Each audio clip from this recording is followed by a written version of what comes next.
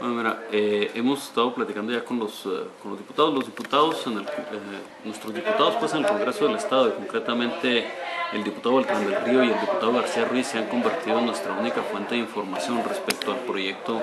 de pavimentación para la ciudad. Toda vez que de los oficios que hemos remitido aquí al administrador del proyecto, no se nos ha dado información sobre las modificaciones que sufrió el referido proyecto. Eh, hay una modificación aceptada ya por el administrador del proyecto en la cual eh, señala que se han eh,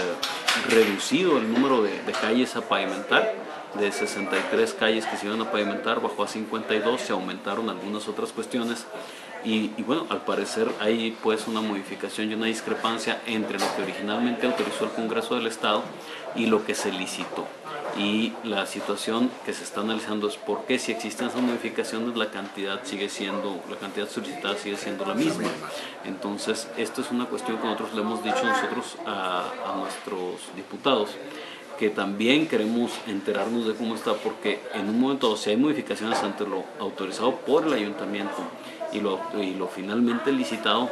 creemos que se tiene que regresar esta situación hasta el, hasta el órgano de origen, que es precisamente el ayuntamiento. Es decir, el administrador del proyecto es simplemente un administrador, pero no está capacitado, no está autorizado legalmente para tomar decisiones sobre qué se incluye y qué se quita. Lo haría, sería el cabildo el órgano para Tiene que ser el cabildo el órgano que, que las modificaciones. Y esto es muy importante porque es un proyecto que ya en las condiciones actuales va a extenderse más allá de la administración actual. Entonces no queremos que en octubre del año que entra